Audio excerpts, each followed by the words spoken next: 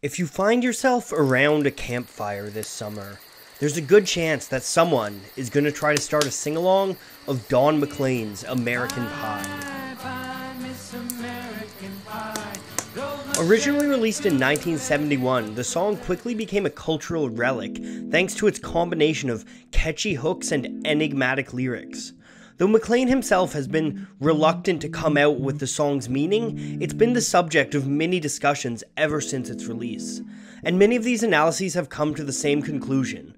The song is about a crossroads in the history of American society, culture, and perhaps most of all, music. Let's take a closer look.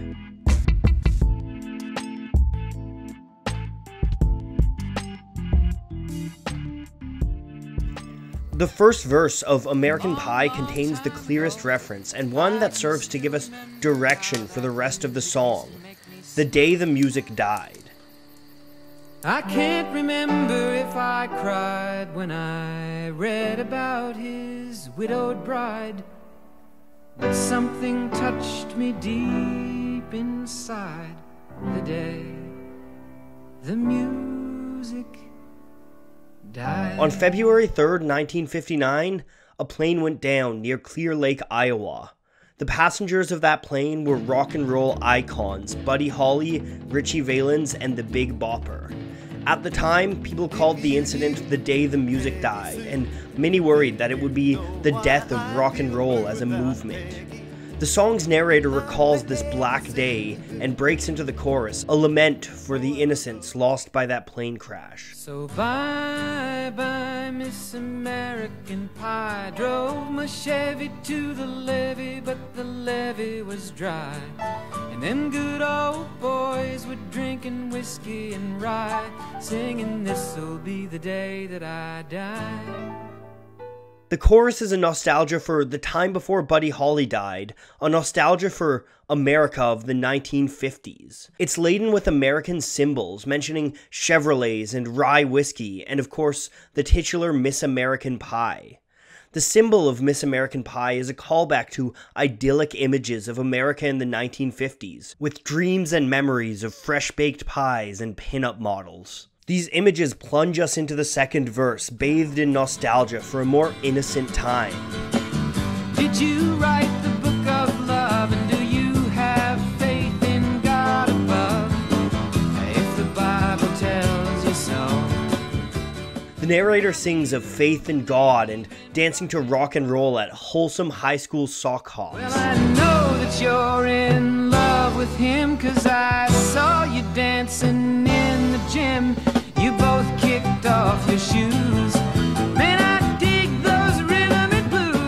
This verse features references to a pair of 1950s hit songs too The Monotones' Book of Love and Marty Robbins' A White Sport Coat and a Pink Carnation. And while this image may seem perfect on the surface, tensions were boiling beneath. At this time, many Americans were disenfranchised by institutional racism and sexism, while America as a country had a shifting role on the global stage. Musically, people were becoming less conservative too, and rock and roll was far from dead. We see that as the next verse jumps us a decade ahead to 1969. Now, for 10 years, we've been on our own, and moss grows fat on a rolling stone, but that's not how be.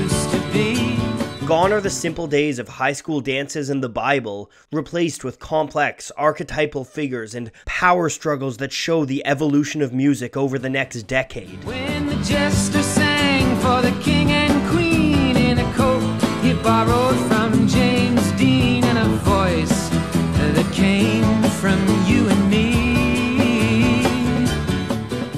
The figure that dominates this verse is the jester, who many take to represent Bob Dylan. On the cover of 1963's The Freewheelin' Bob Dylan, Dylan wears a leather jacket reminiscent of James Dean and Rebel Without a Cause. But Dylan was a shift away from Dean. He was a rebel with a cause. As McLean puts it, he sang with the voice of the people, singing protest songs for the youth and the disenfranchised. In doing so, he became the face of American music, stealing that crown from the king, Elvis Presley. Oh, The king was looking down, the jester stole his thorny crown. The courtroom was adjourned. No verdict was returned. This line features biblical allegory too. It's a crown of thorns, like the one Jesus wore, and it weighs heavy on Dylan. The rest of the verse pans out the music scene building up to 1969, with John Lennon getting into left wing politics and rock moving into darker, more introspective territory. And while Lennon read a book on Marx, the quartet practiced in the park, and we sang dirges in the dark the day the music died. From here, we cut back to the nostalgic chorus before diving face first into the disarray of the late 1960s.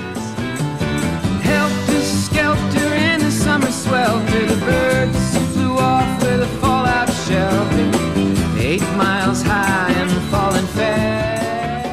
Helter Skelter is a reference to the Manson murders of 1969, in which Charles Manson believed the Beatles song contained hidden messages. For some, this was a dark end to a hippie movement that had seemed so promising and optimistic. The rest of the fourth verse deals with that very movement, looking at the way people were trying to push forward music and thought at this time. Landed foul on the grass. The players tried for a forward pass with the jester on the sidelines in a cast. The jester is once again Dylan, who got criticized for his electric shift in 1965 and then got in a motorcycle crash a year later. This nearly ended his life, taking him out of the music scene for a time, on the sidelines, in a cast. Undeterred, bands like the Beatles drove music forward with albums like Sgt. Pepper's Lonely Hearts Club Band, referenced clearly here. Now the halftime air was sweet perfume while the sergeants played a marching tune.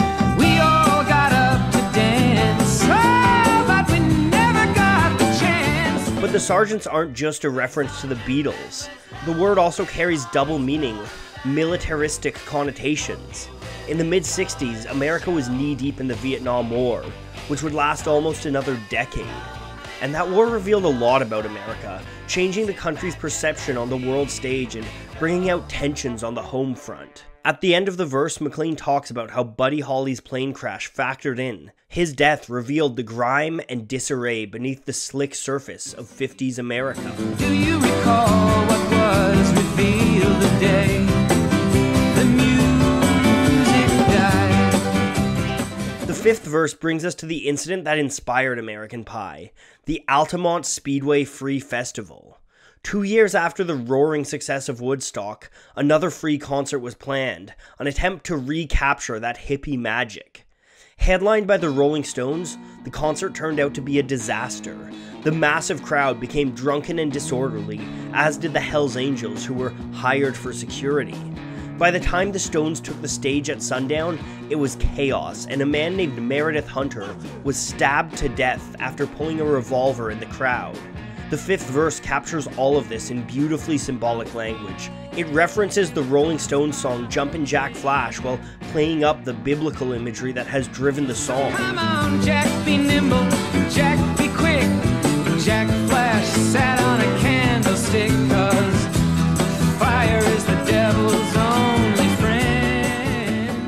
One of the altercations during the show happened while the Stones were playing Sympathy for the Devil, something that McLean parallels with his lyrics about Satan.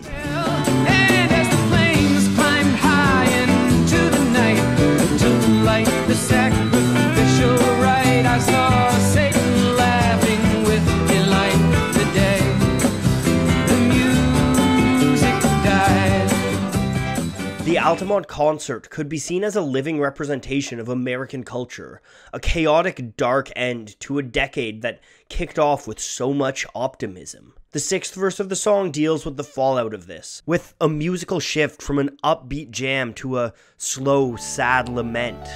I met a girl who sang the blues, and I asked her for some happy news.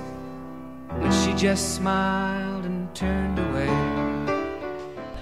The girl who sang the blues could be Janis Joplin, in a reference to the deaths of rock greats like Joplin, Jim Morrison, and Jimi Hendrix that signaled the end of the decade in an echo of the day the music died.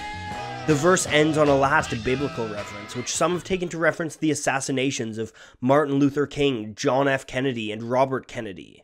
However, the Father, Son, and the Holy Ghost could also be Buddy Holly, Ritchie Valens, and the Big Bopper. And the three men I admire most the Father, Son, and the Holy Ghost. They caught the last train for the coast the day the music died. And this brings us to one final nostalgic chorus.